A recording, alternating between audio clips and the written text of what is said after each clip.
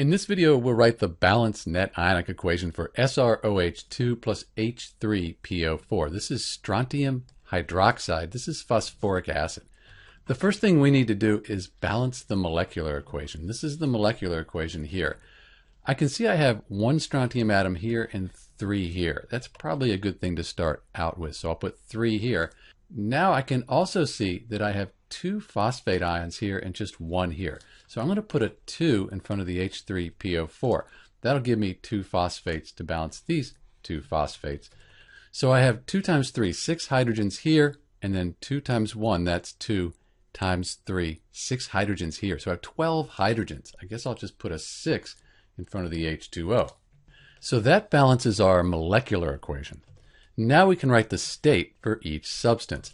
Strontium hydroxide is considered a strong base. We're going to say that that's aqueous. Phosphoric acid is a weak acid, so it's going to be a weak electrolyte. It'll still dissolve and be aqueous, but since it's a weak electrolyte, we won't split it apart into its ions.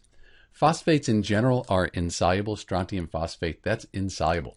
So these two react. They make this insoluble compound, so it's a solid falls to the bottom of the test tube as a precipitate. So this is a precipitate. Then water, that's a liquid. So we have our states. Now we can split the strong electrolytes into ions for the complete ionic equation. So strontium is group 2, that'll be 2 plus. The whole hydroxide ion, 1 minus, good one to remember. So we have three of these strontium ions. I'll write the states later. Plus we have two hydroxide ions times 3 six total hydroxide ions. We won't split this apart because we said it's a weak acid. So it's a weak electrolyte. We don't split apart weak electrolytes. This is a good one to remember. So we have two of these H3PO4. And these are the reactants in our net ionic equation. For the products, we don't split solids apart. This precipitate here, we won't split that apart. So SR3PO4 2 and then water, we don't split liquids apart either in net ionic equations, just H2O. This is the complete ionic equation. Now we can cross out spectator ions. These are on both sides. And actually, in this case, everything is unique in the reactants and products, so we can't cross out any spectator ions. That means the complete ionic equation is the same as the net ionic equation.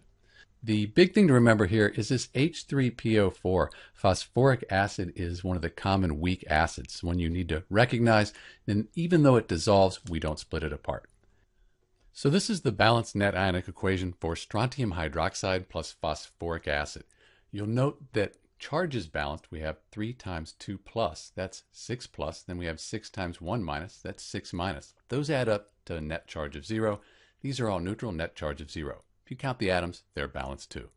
This is Dr. B with the balanced net ionic equation for SrOH2 plus H3PO4. Thanks for watching.